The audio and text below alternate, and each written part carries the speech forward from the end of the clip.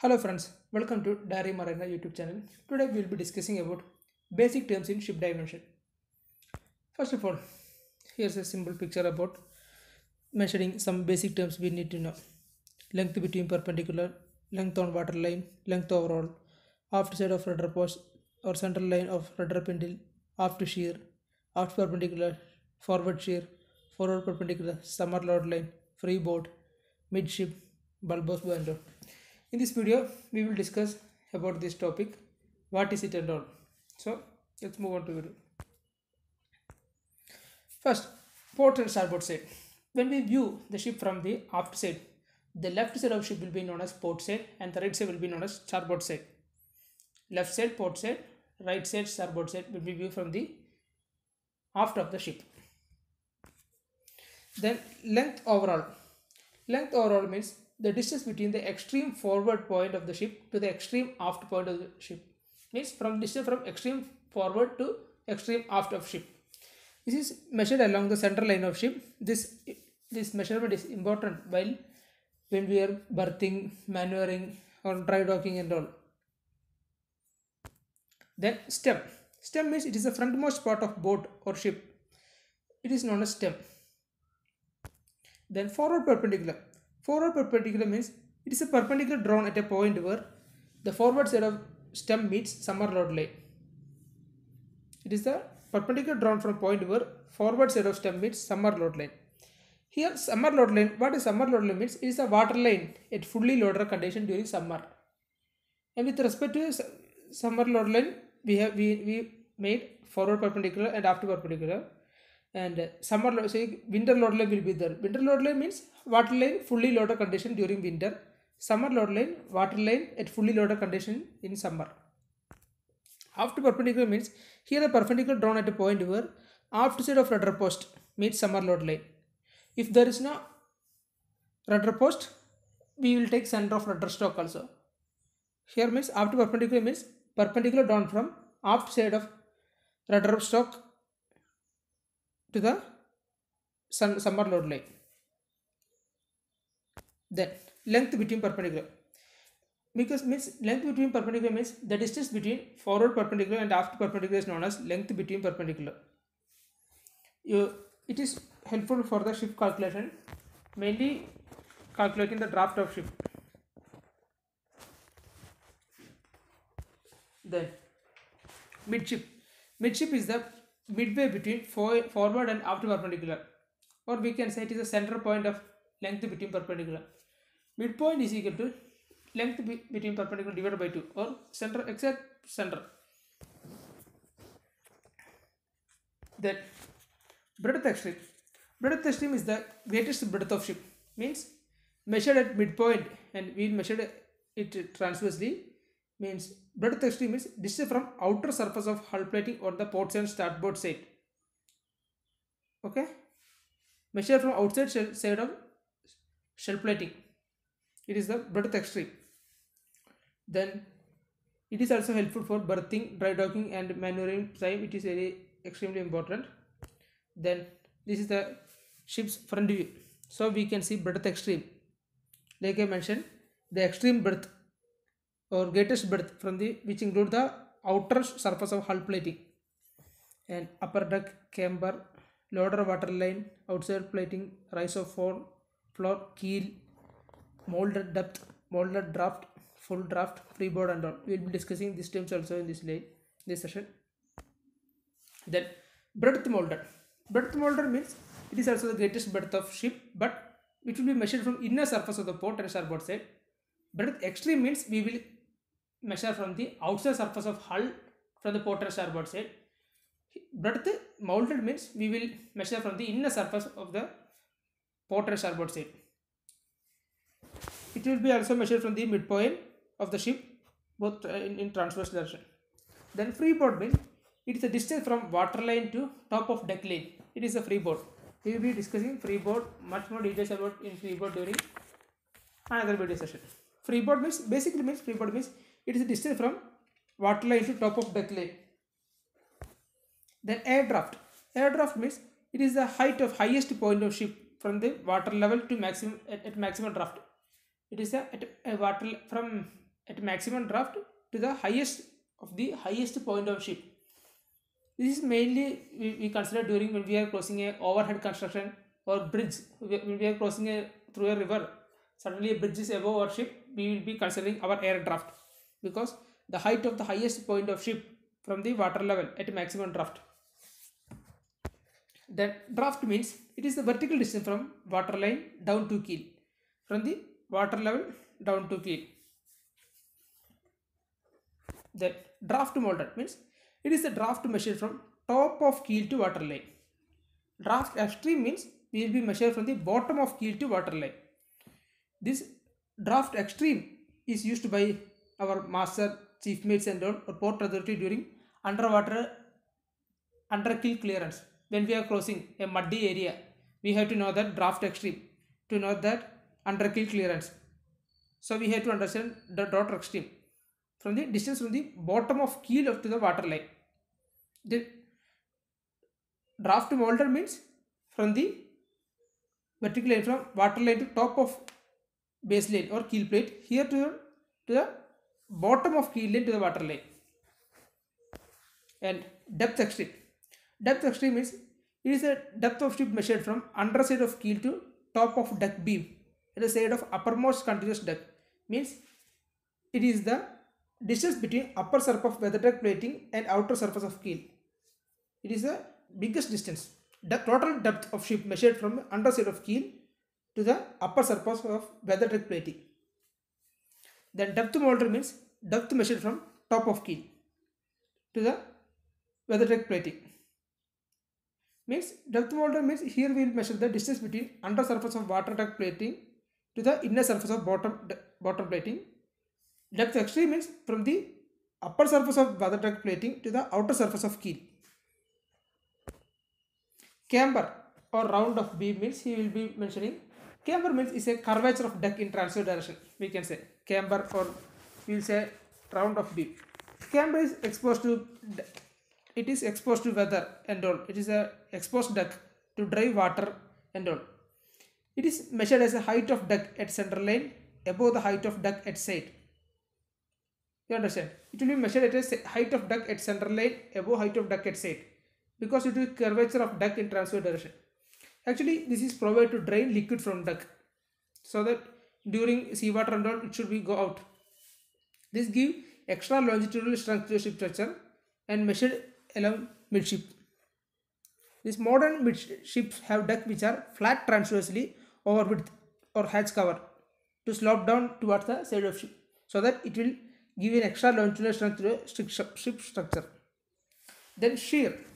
Shear means this is the curvature of deck in fore and aft direction. Means the rising rise of deck in fore and aft part of deck plating. This curvature of deck in fore and aft direction, this shear forward is usually twice that of shear aft. This provides extra reserve buoyancy to forward and aft end of ship. This also drains water from water deck and forecastle deck also. Shear means the curvature of deck in fore and aft direction, rising from midship to maximum at the ends. The rise of floor. Rise of floor means it is the rise of bottom shell plating above horizontal base line. Actually, this provided to drain liquid from ballast water in double bottom tank towards the center line or tank section. This rise of floor is small, that is 150 mm being is very usual. Then bilge radius. Bilge radius means it is the radius of arc connecting to the side of ship to the bottom at mid portion of the ship. The radius of arc connecting the side of ship to the bottom of at the mid portion of the ship. Tumblehome is the means it is the inward curvature of shell above the water line. It is the inward curvature. This is measured along horizontal distance between perpendicular drawn to sea streak. This gives also more stability to the ship, lowers the center of mass, thus lowers the center of gravity. This structure makes the ship more seaworthy. Means measured when we makes this improves the appearance of the ship. This in some ship midship shell plate is in the region of upper deck is curved slightly towards the center line, thus reducing the width of upper deck and decks above. Then strike.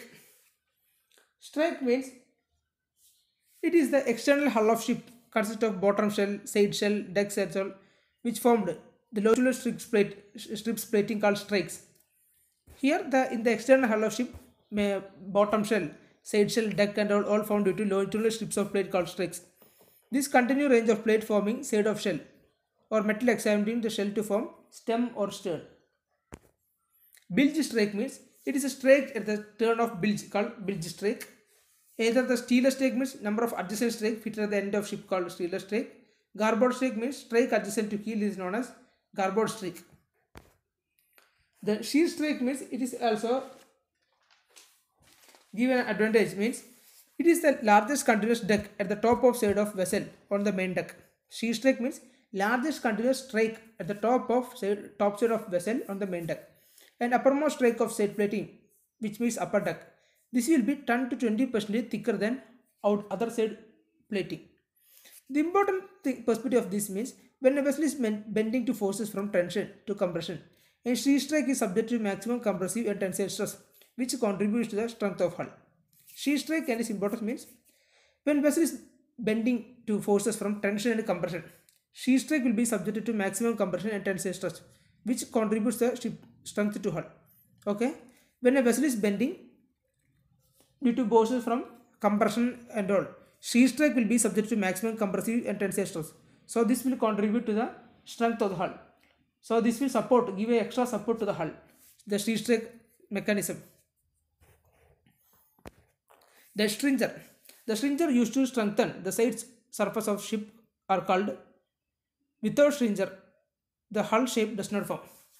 Stringers means these are used to strengthen the side surface of ship. These are strengthening members, stringers and all. Shear, all strengthening member. Without stringer, the hull shape does not form. Then coffin plate. Coffin plate is used to connect the stern frame of the flat plate keel. Coffin plate is used to connect the stern frame of the flat plate keel. Then shoe plate means it is used to connect stem to the flat plate keel. Then margin plate means it will be at the bilges. The tank top may be either continued straight out to the shell or by means of tank margin plate, which is watertight. At some angle of about 45 degree, the tank top meets the shell almost at right angle. Bulwark. Bulwark means it is a solid wall that extends above the weather deck or any other deck to be exposed to the weather.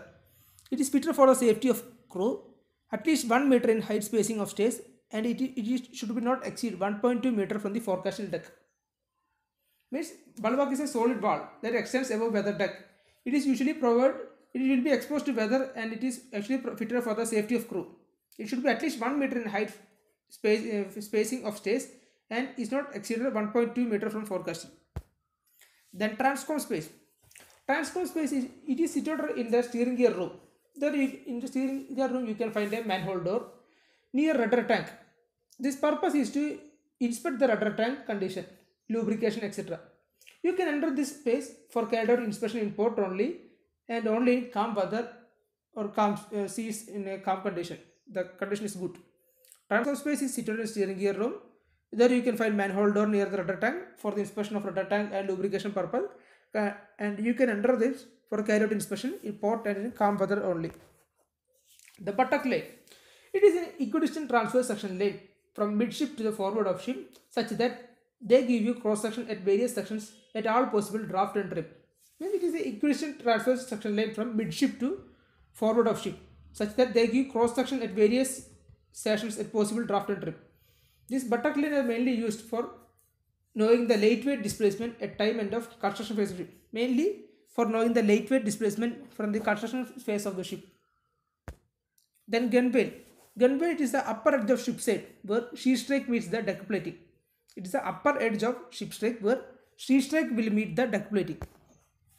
Margin lane means it is just a lane that will drawn at least 76 mm below upper surface of bulkhead deck side means it is lane drawn 76 mm below upper surface of bulkhead deck.